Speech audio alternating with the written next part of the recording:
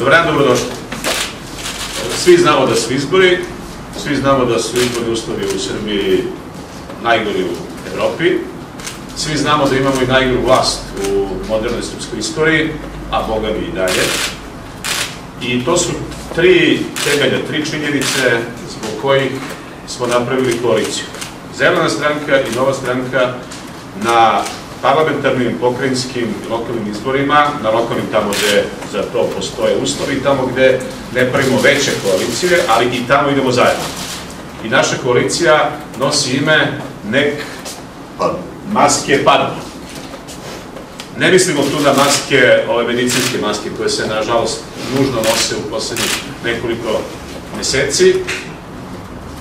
Mislimo na maske, one tragikomične maske kvazi demokratije, kvazi poštenja, kvazi poštovanje ljudskih i manjinskih prava, kvazi institucija. To su maske koje nosi Aleksandar Vučić, Ivica Dačić, Vulin i svi ostali koji su pod tim maskama, koji su zajedno sa njima i koji prave jedan cirkus od ovog, i to mogu cirkus korona, od ove Srbije, od ove lepe zemlje koja nikako da smogne dovoljno snage da postane i ozbiljna država.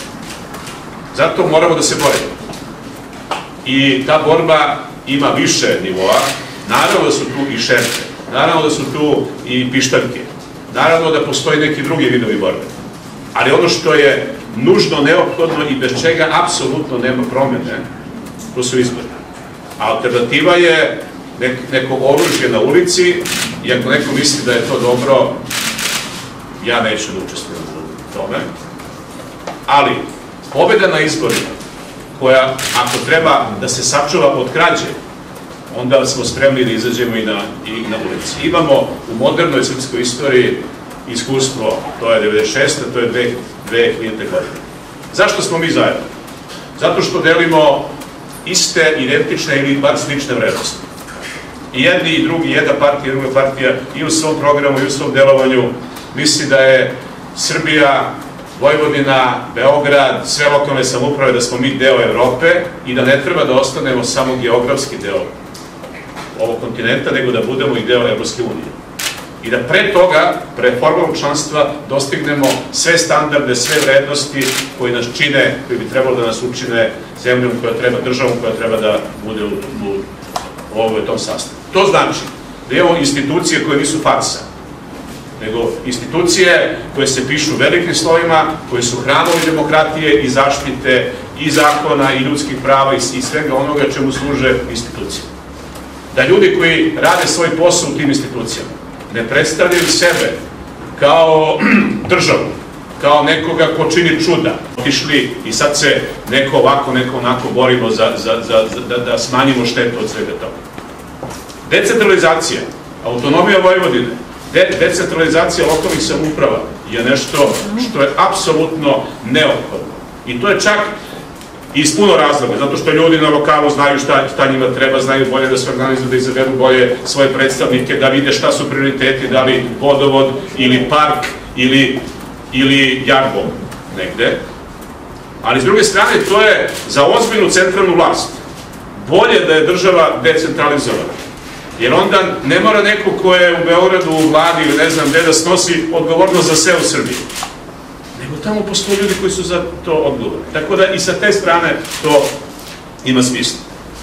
Ono što je sastavni deo našeg koalicijnog sporazuma, koji je na 4-5 strana, je i član 3, u kome piše da nakon izbora, naravno ni do tada, ali nakon izbora nema nikakve saradnje sa SNS-om i njihovim saradnicima.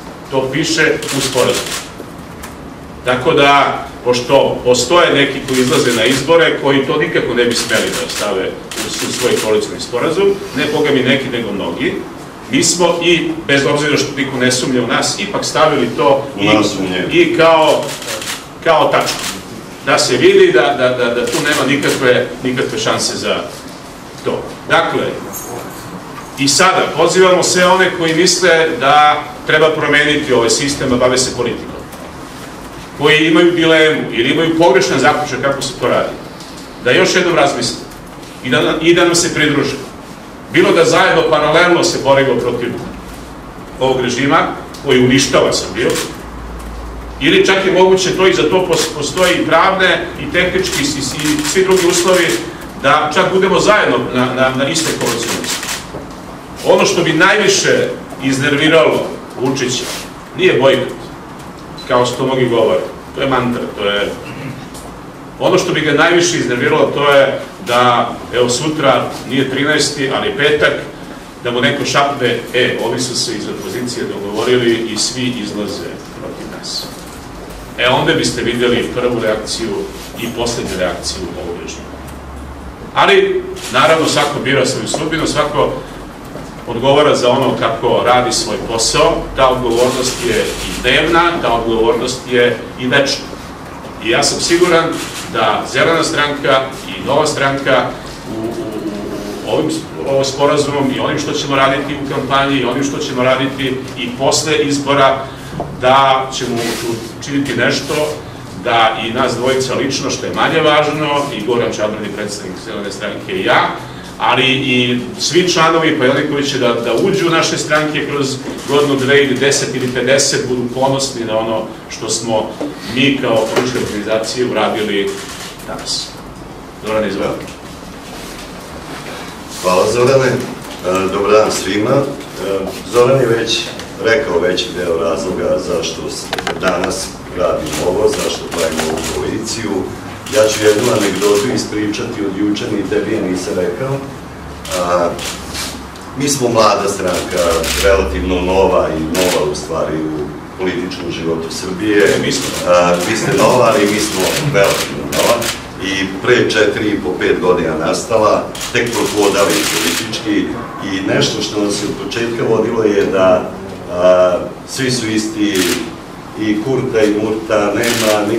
I ja moram odgovoriti na pitanje, ako me neko pita zašto sad Zoran, Zoran je čovjek koji je dugo u politici. Ja sam to pitanje sinoć nakon naših razgovora postavio nekim našim članovima i to ne govorim o visokim funkcionerima, nego bukvalno sam po Srbiji tako par odabrao nekih starije, stariji i neki mlađi članovi i e, zaprepašćen sam bio, dobio sam malte ne identičan odgovor. Svi su oduševljeni da pravimo koaliciju sa novom strankom, a, o Zoranu Živkoviću su doslovce, bukvalno u reč svi rekli, dosledan, a, naj opozicionar koga najviše poštuje. To sam dobio odgovor od nekoliko članova juče da znam šeo sati pripogu. Ja mislim da je to dobrim delom i odgovor zašto mi ovo danas radimo. A, mislim da će neko reći, pa ok, što niste to uradili pre dva meseca, pre dve godine, nego baš sada. Ja hoću da kažem da svi smo svesni gde živimo, svi znamo kakvi su uslovi za izbore, ja lično mislim da za male, nove stranke su od uvek. Pre ovih pandemijskih uslova smo imali jako teške mogućnosti da učestvujemo u izbornoj utakmici. Imate sa jedne strane jednu ili dve ogromne stranke sa ogromnim resursima, sa ogromnom medijskom prisutnošću i gomilu nas ostalih u tom outsider naše ideje, naše programe, nema ko gde da čuje. Nakon pandemije ta stvar se nije promenila. Druga stvar, šta mislim da je važno, koje jedine dve stranke, dva čoveka, godinu dana već govore da treba ići na izbore. Ja vam tvrdim, e, Zelena stranka Zorana Ispreme, ako grešim, je prva prošle godine donela odluku predsedništvo stranke da će ići na izbore. Ti si od prvog dana e, zastupao tu tezu. E, zašto? Ja lično verujem, mislim da se tu prepoznajemo, vlast se menja na izborima, ne menja se na ulici, nećemo tako društvo, ne menja se na stepeništu parlamenta, ono služi da poslanici uđu i izađu tu i nikako drugačije. Verujem u Srbiju koju treba menjati, praviti da bude bolje društvo, ali ne tako da napravimo jeftin performans ili grandiozan miting, nego da ponudimo programe. Ja mislim da nova stranka, zelena stranka, u 90% stvari nam se programi preklapaju. Mi imamo jedan deo akcent malo više na životnu sredinu, na zdrav vazduh, na reke, na obnovljive izvore energije, ali i kod nas je to ljudi često prkaju, zelene povezuju sa ekološkom partijom, zeleni su moderna evropska partija građanskih vrednosti, koja poštuje ljudska prava, to smo sve ovde prepoznali. I verujte, nikada ni u privatnom životu, a kamoli u političkom, gde je sve stvar pijace, nisam postigao lakši dogovor nego juče sa Zoranom. Mi smo ovu stvar dogovorili za pet minuta, bukovno. Ovo sve ostalo je stvar tehnike koju su naši saradnici dalje razrađivali. Ja e, pozivam još jednu, Zoran je to spomenuo, sve slobodno misleće građane, sve pokrete, e, političke partije koje vide Srbiju na način kako i mi vidimo, da nas se priključe, otvoreni smo i dalje za saradnju, želimo da menjamo ovu Srbiju. E, naš slogan nije slučajno nek maske padnu, e, mislimo na političku laž, mislimo na maske u životima, mislimo na maske i pandemijske, da rešimo pandemiju, mislimo i na maske o zagađenom vazduhu, jer živimo u najzagađenijim gradovima u Evropi, želimo čistije građane, od toga nam umire 6000 ljudi svake godine u ovoj zemlji. I to moramo da rešimo, ali moramo napraviti Srbiju boljim, modernijim društvom, koje 200 godina ne prekopava grobovi i ne bavi se istim stvarima kojima se bavimo već 200 godina i tapkamo u mestu. Program konkretan ćemo predstaviti u narednim danima, slogan jeste nek padnu i pozivam još jednom i građane da nas podrže, od sutra krećemo u brojnim gradovima u prikupljanje potpisa, a da nas toga, nakon toga podrže i na izbor. Hvala. Hvala Gorane. Imate li pitanja? Izvolite. Anđele Stojković od agencije RON. Znači, zanima me da li ćete razgovarati sa PSG-om, pošto je Srbiji Trifunović najavio mogućnost razgovora sa vama za lokalne izbore i za gospodina Čabradija. Rekli ste kada je održana sedmica Skupštine da ćete tražiti da se izbori budu održani tri meseca posle vanrednog stanja, inače ćete od svoje stranke tražiti da ne idete na izbore. Šta se promenilo? Češ ti promeniti? Ajde. Hvala na to pitanju, zaboravio sam da ga spomenem, jer često me ljudi to pitaju. Prvo, e, držim reč uvek i u privatnom životu, a i u politici. Ako ste tada pažljivo slušali, ja sam izgovorio sledeće. Tražit ću od vlasti da minimum tri meseca nakon kraja pandemije, da pre toga ne budu izbori. Zašto? Smatrao sam da je nenormalno držati na zatvorene u kavezima. Ja ne kažem da je to loša mera bila i nisam ih kritikovao, veruju da su se borili da sačuvaju živote, ali dva meseca smo svi zatvoreni u kućama i onda jedan dan, pogledajte kako nam iče gradovi, a zamislite da ljude treba naterati da ulaze na neka birališta, da ulaze da nam daju overe na popis, prosto je razum govorio dok ne bude kraj pandemije, ostavite par meseci da ljudi dođu zemlje.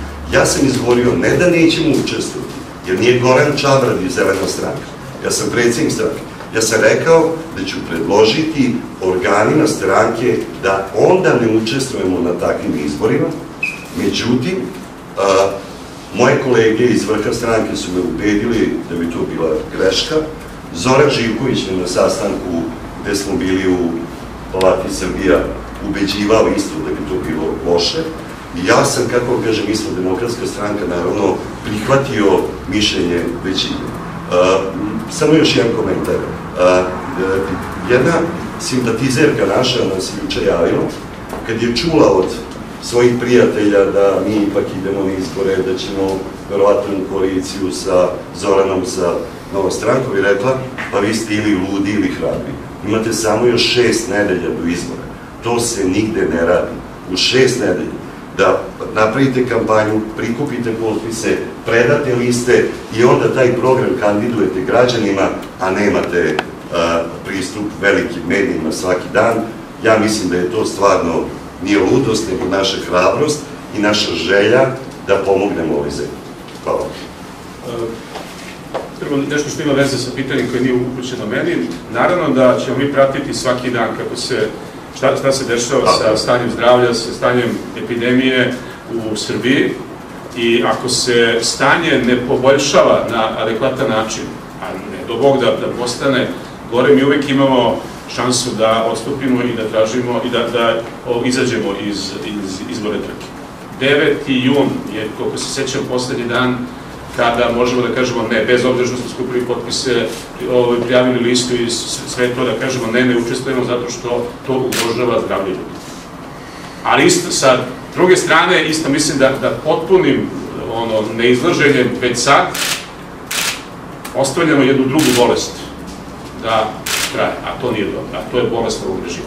Što se tiče PSG, mi smo imali, imali razgovore, oni su odlučili da idu sami na parlamentarne izbore, ja im želim svaku sreću, a na lokalu mi smo se dogovorili da tamo gde idemo samo kao dve stranke u koaliciji, da to je normalno, ali da nismo zatvoreni za druge, zatvoreni smo samo za stranke sa vlasti i, stranke, i, i za kvazi opozicijone stranke, svi znaju o kome govorim, a sa svima drugima, sa PSG-om naravno, svuda u Srbiji gde oni imaju organizaciju, gde mi imamo organizaciju, gde Zelena ima organizaciju i gde možemo da izađemo sa dobrim programom i sa dobrim kandidatom.